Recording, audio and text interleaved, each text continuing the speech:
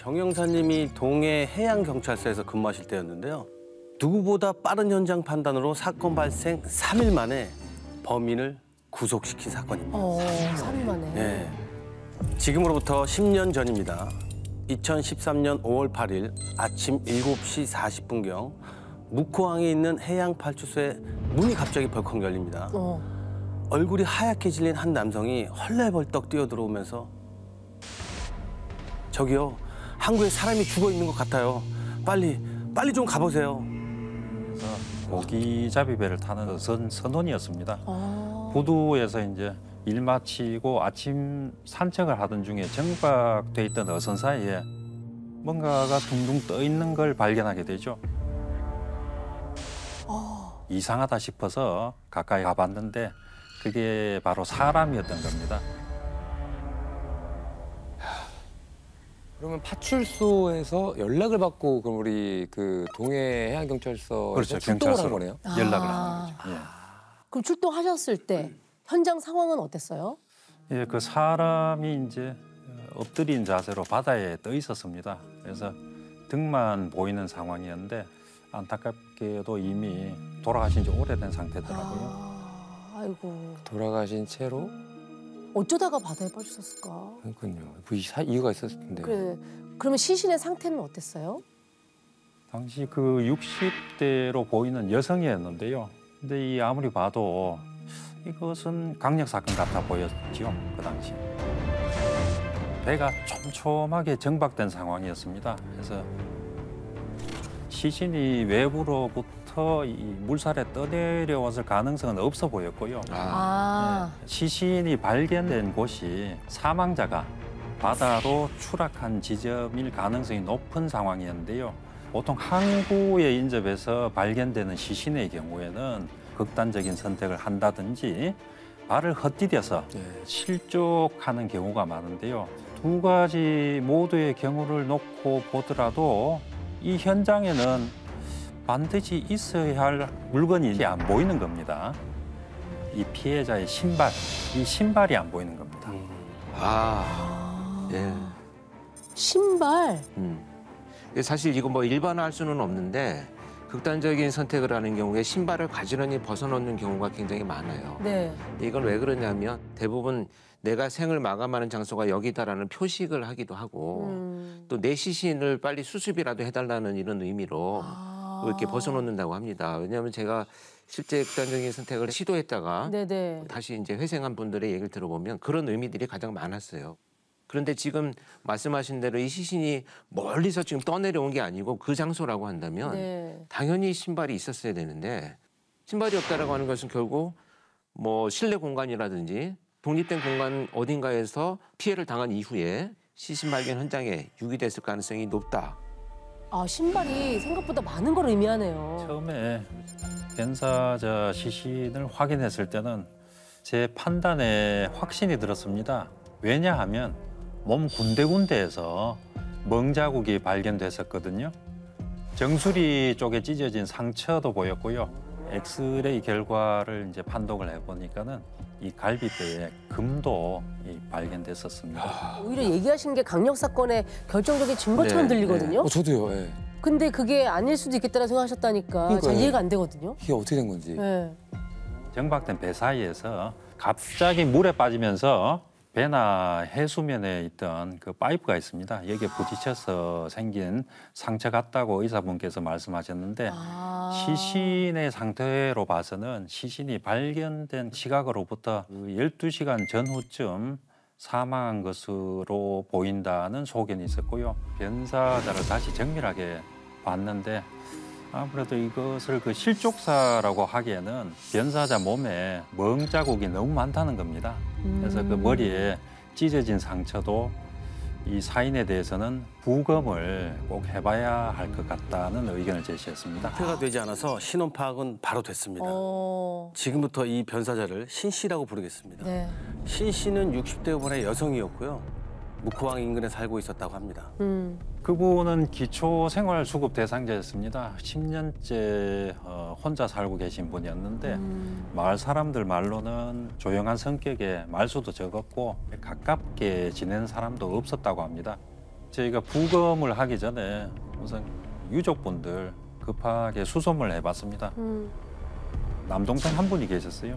연락을 드렸더니만 오열하셨습니다. 20년 전에 집을 나가시고는 연락이 끊겨서 몇 번이나 찾으려고 백방으로 수소문했는데 그게 마침 또 누님의 소식을 부고로 접할 줄은 정말 몰랐다고 하시더라고요. 아. 아.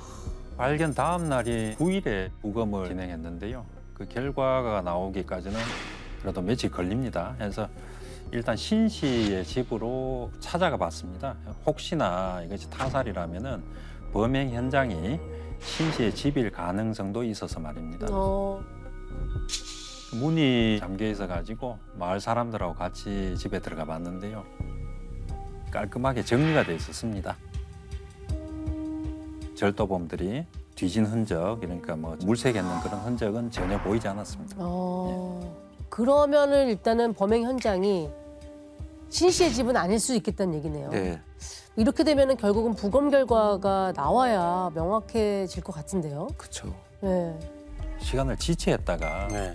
혹시나 이것이 타살이라면은 범인을 놓칠 수도 있겠죠. 그렇죠. 그런 우려가 있어가지고 그러면 일차 부검 소견만이라도 나오면은 빨리 연락을 좀 달라고 이렇게 부탁드렸고요. 일단 탐문 수사하고 CCTV 확인을 바로 진행을 했습니다. 아, 그렇죠. 부검 결과는 조금 시간이 걸리니까. 한 며칠 더 네. 걸리는 거잖아요. 그렇죠. 네. 그러니까 혹시 모를 상황에 대비를 해서 수사를 하신 거네요. 자, 일단 그 검안 의사분이 그 제시한 사망 추정 시간대가 5월 7일 저녁 7시 경으로 이제 추정이 됐는데요. 묵호항은 저녁 9시 정도 되면은 인적이 끊겨버립니다. 음. 그 다음날 뱃일 나가는 새벽 3시경에 다시 붐비기 시작합니다. 사람이 물에 빠지는 것을 아무도 목격하지 못했던 걸로 봐서는 7일 저녁 9시부터 그 다음 날인 8일 새벽 3시경 사이로 추정 시간을 압축을 해가지고 인근 CCTV를 확인을 해봤습니다. 뭐가 좀 보이던가요? 묵호항 이쪽으로 지나다닌 사람이 뭐 전혀 없었습니다. 어. 근데 자정쯤 한 남자가 부두 쪽으로 오는 겁니다. 이게 뭐지? 어?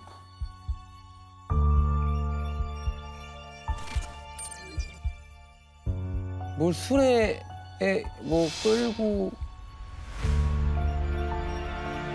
저 남자분인데요. 이 새벽에 갑자기 기어카를 끌고 부두에 나타난 겁니다. 그쵸, 저 리어카죠? 근데 그 새벽에 묵호항에 리어카를 끌고 갈 일이 뭐가 있어? 설마 저 안에 아, 아우, 새벽 1시 11분경에 남자가 다시 왔던 길로 돌아가는데 그때는 또 손에 리어카가 없어졌습니다. 그래서 선원 중에 리어카를 끌고 나왔을 리는 없었고요. 그래서 묵호항은 이렇게 리어카를 두는 장소들이 정해져 있었습니다. 아. 근데 아, 저 그렇구나. 남성분이 가는 방향에는 그 리어카 보관소가 없어요. 아. 게다가 그쪽이 마침 그 신 씨의 그 사체가 발견된 곳이기도 했습니다. 형사님은 남자가 버리고 갔을 리어카를 찾아 나섰습니다. 그런데 시신이 발견된 현장 그 어디에도 리어카가 보이질 않았습니다. 그 순간에 머릿속에서 뭐 반짝하는 생각이 하나 떠올랐습니다. 뭐가 떠오르신 거지? 만약 그 사람이 범인이라면은 리어카를 어디엔가 분명 숨기려고 했을 텐데 그런데 그 리어카가 어디에도 보이지 않죠. 그래서 피해자분하고 같이 이 바다로 그냥 함께 밀어 넣어버린 게 아닌가 그런 생각이 들더라고요. 아, 리어카랑 같이. 이번에도 형사님 판단이 맞았을까요? 아, 일단 잠수부와 형사들이 시신이 발견된 현장으로 모두 모입니다. 그리고 깊고 어두운 바닷속에서 리어카가 건져 올라옵니다. 야 근데 아까 CCTV가 얼굴 알아보기가 힘든 화질이긴 하거든요. 그렇죠. 어느 정도 행동은 알 수 있는데 뭐 얼굴을 특정하거나 연령대를 측정하기가 좀 어려운 정도긴 한 것 같거든요. 저 사람은 또 어떻게 찾습니까? 그러게. 근데 그 저분이 좀 걷는 모습이 그 당시에 볼 때는 좀 특이했습니다. 음, 뭐가 특이했어요? 팔자로 걸었나요, 저는? 처음에는 걸음걸이가 너무 느려가지고 표시가 나지 않았는데 slow 화면으로 보니까는 오른쪽 다리를 쩔뚝거리면서 걸으시더라고요. 그러면 저 걸음걸이가 특이하니까 어쩜 찾을 수도 있겠네요. 뭐 우리가 그 얼굴을 알 수 없지만 그렇죠. 그래서 형사님은 팀을 두 개로 쪼갭니다. 쩔뚝이는 남자를 본 적이 있는지 동네 탐문을 하는 동시에 시신이 발견된 현장에 잠복팀을 배치합니다. 지나다니는 사람들의 사진을 찍으려고 말이죠. 잠복하던 형사님들의 시선이 일제히 한 사람에게 꽂힙니다. 아, 가만히 앉아 바다를 물끄러미 바라보는 한 남자에게 말이죠. 50대 정도로 보이는 한 남자가 신시 사체가 발견되는 그 바다 앞에서 이 쪼그리고 앉아서 담배를 피고 있는 걸 본 겁니다.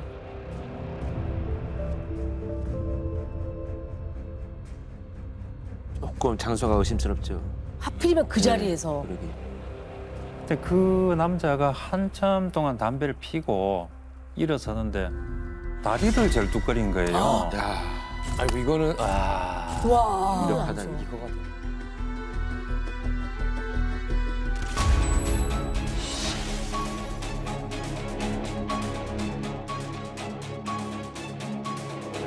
일단 그 남자가 피운 담배 꽁초를 수거를 했어요. 수거를 하고 바로 미행을 따라 붙였죠.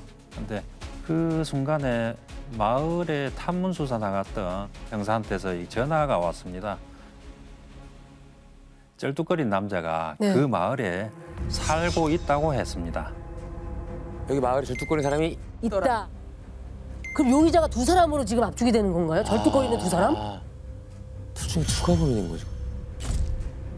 근데 참 이것이 결정적으로 이 마을 쪽에 그 탐문 나갔던 팀하고 부두에서 그 미행하던 팀이랑 어느 집 앞에서 딱 마주치게 됩니다. 두 팀이 따로 쫓던 절뚝거리며 걷던 남자가 한 사람이었던 거죠.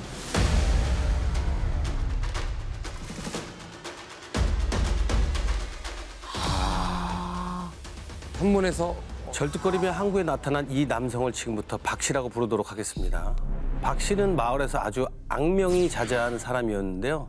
술만 마시면 행패를 부리고 물건을 훔치기도 해서 모두가 박 씨를 피해 다녔다고 합니다.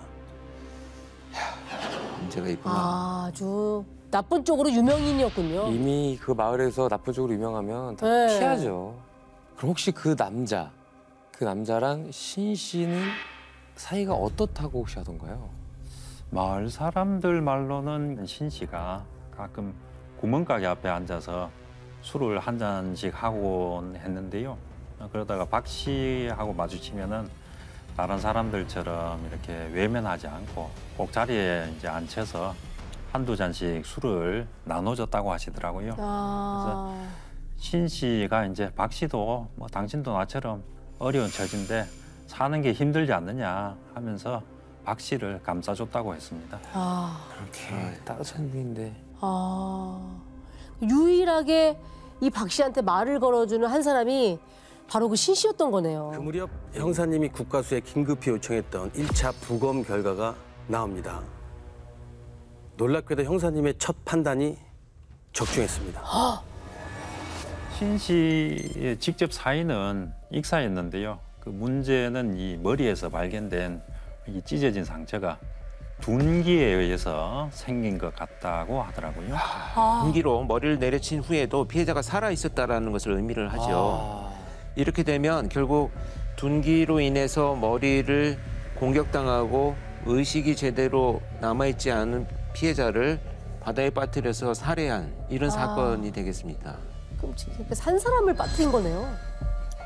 아, 리어카 통째로 그것도. 집이라도 확인은 해보자 싶어서 바로 박씨 집 문을 두드렸습니다. 그랬는데 이제 버럭 성질을 내면서 이박 씨가 나오더라고요. 아 성질을 내요? 김이 뭐 아까 전에 그막 행패 부리고 폭력적이다라고 했잖아요. 그러니까 일단은 뭐 아무 일도 없는 것처럼 인근에서 사건이 하나 있는데 어, 현재 탐문 중이라는 말을 하면서 혹시 마지막으로 신 씨를 언제 보셨냐고 이렇게 물어봤죠. 어 2월 16일이요. 이렇게 대답을 했습니다. 2월 16일이요. 지난 겨울에 봤어요. 이 정도가 그렇죠, 가장 그렇죠, 뭐 아주 익숙하고 편안한 이런 그 진술이 되겠고 날짜를 정확하게 지목한 것은 뭔가 경찰이 이제 찾아왔을 때 내가 그 날짜에 봤다라고 하는 것을 준비하고 있었다라는 이런 답변이 되겠죠. 간에 저도 박 씨가 범인이 확실하구나 이런 생각이 들었어요. 그래서 혹시나 어, 잠깐 들어가서 얘기할 수 있겠냐고 이렇게 자연스럽게 집안에 발을 들였죠. 어. 그래서 집안에 혹시라도 뭐든 남아 있는 것이 있지 않을까 해서 이렇게 살펴봤는데 집에 들어서는 순간에 이 참 뭔가 이 싸해졌습니다. 우리가 이제 술만 마시면은 난장 피우고 살고 있다고 들어가지고 방바닥에 술병도 좀 굴러다니고 음. 엉망일 거라고 생각했는데 이 집안이 너무 깨끗한 거예요. 옷도 아주 칼같이 정리돼서 걸려 있고 아, 양말도 일렬로 테이블 위에다 접어서 정리까지 해놨습니다. 라이터까지도 색깔별로 따로 구분해서 일렬로 줄을 세워놨더라고요. 이거 증거를 못 찾을 수 있지 않겠나 하는 그런 염려가 많이 됐는데요.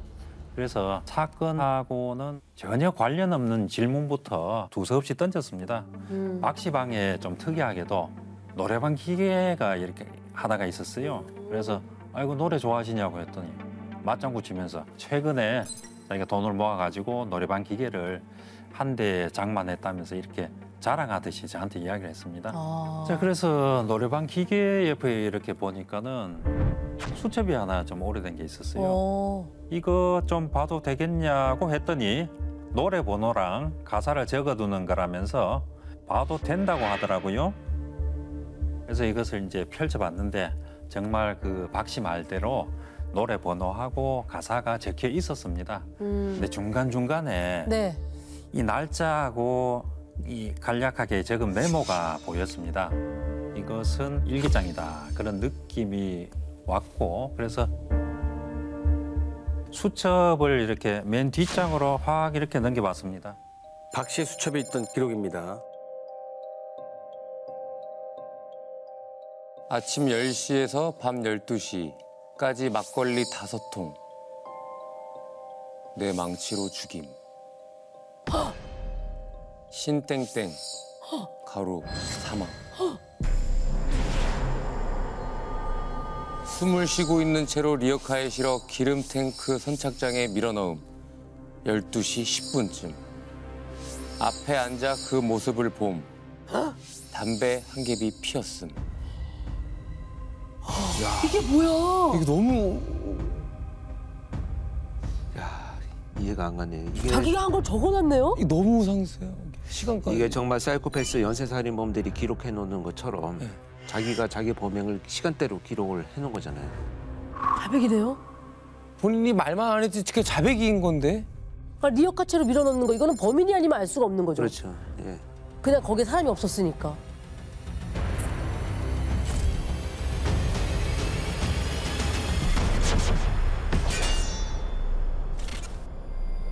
그럼 이걸 보자마자 바로 현장에서 바로 딱 체포하셔야 되는 거 아닙니까? 아니죠. 그 순간에는 이 사람을 절대 자극해서는 안 될 것 같다는 그런 생각이 들더라고요. 와. 근데 어떻게 차분하세요? 이게 어떻게 이게 그래서 말이 범행 현장이죠. 이 박 씨 집에서 뭔가를 찾아내려면은 이 박 씨를 이 집에서 나오게 해야 되겠다는 그런 판단이 들더라고요. 네, 네. 그래서 이제 박 씨한테 이번에도 아무렇지 않은 척 경찰서 가서 하나 좀 확인할 것이 있는데 같이 좀 가실까요? 이렇게 정중하게 물어봤죠. 그러면 순순히 따라가겠다고 하던가요? 예, 아주 흔쾌하게 어, 따라 나섰습니다. 노트에 좀 좋은 뭐 글도 많이 적혀 있는 것 같은데 노트 좀 같이 가져가도 되겠습니까? 이렇게 물어보니까는 어 그것도 어 마, 마음대로 하시라고. 실서까지 같이 갔다고 했잖아요. 순순히. 그 거기서 뭐라고 하던가요? 바로 일기장에 대해서 막 단도직입적으로 물어봤습니다. 자, 노트 보니까는 이런 내용이 있는데 이거 어떻게 된 일이에요? 그렇게 물어보니까 어 아니 그런 게 적혀 있었냐면서 오히려 저한테 물어보는 겁니다. 그래서 누가 자기 몰래 적어둔 것 같다면서요. 자기 몰래요? 이거 어떻게 되는 거야? 진짜 헛소리거나 아니면 진짜 억울하거나 살인하고 유기했다 이런 내용을 남의 노트에 어떻게 씁니까? 계속 본인은 나 모르는 일이요 이렇게 발뺌을 하는데 본인이 적은 게 아니라 했지요. 그럼 좋아요. 그럼 우리 필적 감정합시다. 그때부터는 본인이 이제 대꾸를 안 하는 거예요. 아 일기장이란 것은 말입니다. 이 법정에서 채택되는 아주 결정적인 증거라는 그런 이야기를 했습니다. 어. 그때부터 이제 이 박 씨 눈이 팍 떨리는 거예요. 그런 사람이 살인을 저질러? 비단 이 수첩이 아니더라도 당신이 범인이란 것이 밝혀지는 것은 시간 문제다. 당신은 100% 감옥에 가게 돼 있고 자 그런데 잘 알겠지만은 자 자백을 하는 사람하고 안 하는 사람하고는 형량이 하늘과 땅 차이니까 생각 잘 해보시고 현명하게 판단하시고 음. 야 그랬더니 이게 통했습니까? 그랬더니 박 씨가 눈물을 흘리면서 눈물이요? 예 법대로 처리해 주십시오 이런 겁니다. 음. 아, 그 얘기는 결국은 이제 지금부터는 잘 자백하겠다 이 얘기네요. 박 씨는 피해자의 머리를 내리쳤던 망치를 안방 서랍장에 보관하고 있었고요. 집안에서는 루미놀 반응도 나왔습니다. 어머, 피해자 신 씨의 DNA까지 나옵니다. 그래요. 왜 살인을 했을까요? 무슨 얘기를 내뱉는지 한번 들어보시죠.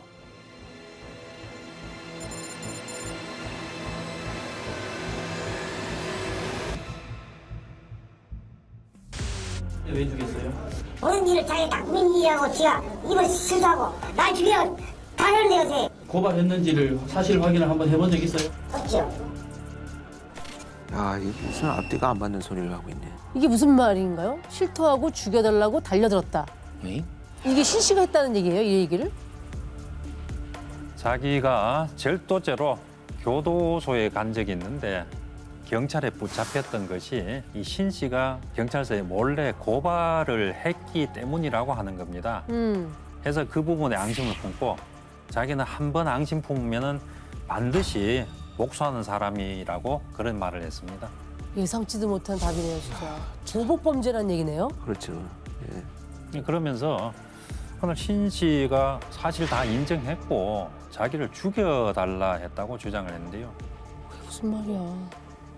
바다에 신 씨를 이렇게 내던졌을 때신 씨가 이제 실신에 있다 깨어나서 허우적거리는데 그 모습을 보면서 잘 가라 하면서 인사를 했다 하더라고요. 아유, 잘 가라를 했다고요? 어, 너무 잔인하다. 아, 이미 정상이 아니야. 그리고 그거 자기가 고발한 사람이 누군지를 그걸 어떻게 알아내요? 말도 안 되지. 네. 이제 박 씨의 주장에서는 누구한테 혹시 들었다고 말하던가요? 그 해 초에 자기 지인한테 그 들었다고 했는데요. 그 이야기 듣고는 석 달 동안 이신 씨하고 마주치기를 기다렸다고 합니다. 그러다가 이제 5월 7일 아침에 자기 집 앞을 지나간 신 씨를 우연히 봤고 신 씨한테 막걸리를 대접하겠다고 집으로 유인해 가지고는 술에 취한 신 씨한테 그 망치로 폭행을 가했다고 예, 주장합니다. 그럼에도 신 씨가 사망하지 않으니까 이신 씨를 2층 계단에서 굴려 가지고 떨어뜨렸는데도 뭐 살아 있더랍니다. 아우, 그 신 씨를 바다에 수장시켰다는 말을 했습니다. 말이 안 돼. 너무 잔인하다. 술을 먹여 죽이려고 애초부터 작정을 한 거잖아요. 왜 이렇게까지 정말 너무 아주 잔인하게. 음. 근데 신 씨하고 박 씨가 한 마을에 살고 있었다고. 근데 한 마을에 사는 사람을 만나기 위해서 세 달을 기다려요? 어디에 사는지 정도는 알고 있을 아 거고. 본인이 알려고만 한다면 금방 알 수 있는 네. 거죠. 사실은 근데 기다렸다는 게 이게 말이 아- 안 되는 것 같은데. 말이 안 돼요. 그것도 말이 안 되고 일단은 신 씨가 고발했다는 그 절도 사건이 대체 언제 일어났던 거예요? 그 사건은 1999년도에 있었던 사건입니다. 14년 전에 있었던 사건. 그것에 대한 앙심을 품고 사람을 죽였다. 그런데 정말 놀랍고 황당한 건요. 박 씨가 신 씨를 알게 된 건 5년 전이었다고 합니다. 이게 무슨 소리야? 에이씨. 14년 전 사건인데 5년 전에 알게 된 사람을 어떻게 고발을 하죠?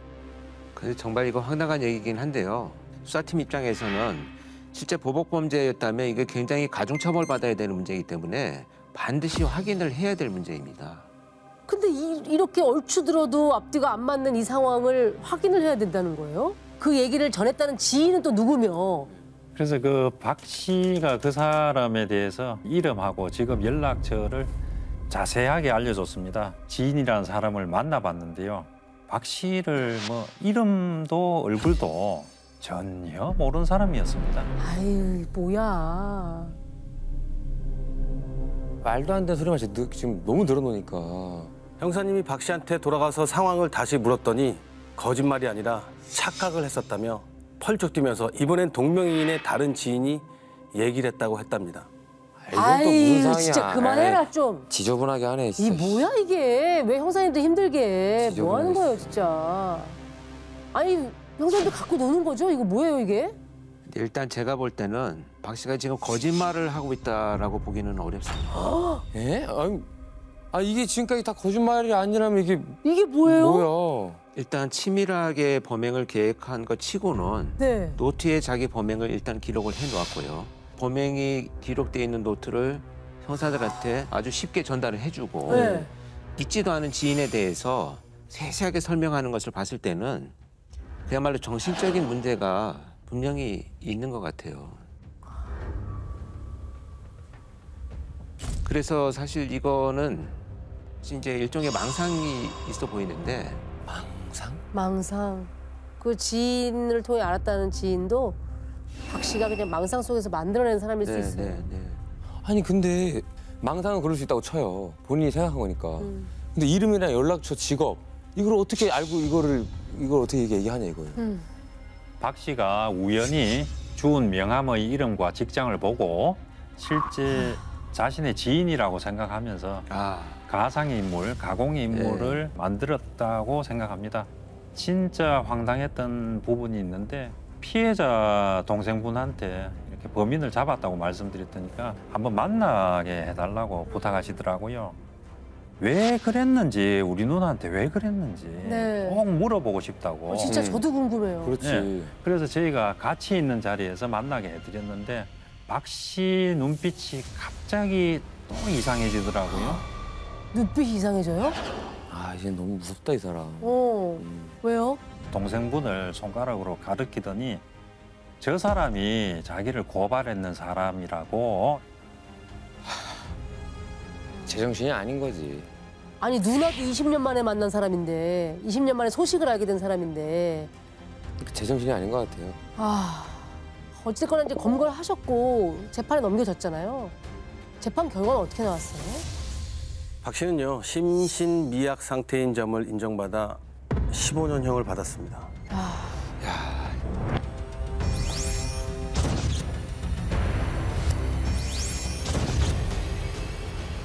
유기까지 했는데 피해자를 생각하면 너무 허무해요. 전 개인적으로 이제 이렇게 망상의 뭐 어떻게 보면 그 병이죠. 네, 장애죠, 장애. 장애라고 볼 수 있는데 문제는 이런 사람들을 우리가 구별을 못하니까 네. 어디서 어떻게 사건이 일어날지 모른다는 게 저는 더 그게 무서운 것 같아요. 왜냐면 모르잖아요. 멀쩡한데 그분은 망상을 맞아요. 갖고 있고 또 병을 앓고 있을 수 있으니까 이 피해자분 입장으로 한번 생각을 해봤어요. 네. 그래서 참 마음이 무겁습니다. 내 인생만큼 남의 인생도 이 소중하다는 걸 잊지 말고 맞아요. 살아가는 좀 더 좋은 세상이 되었으면 좋겠습니다. 즐겨봐 이 채널.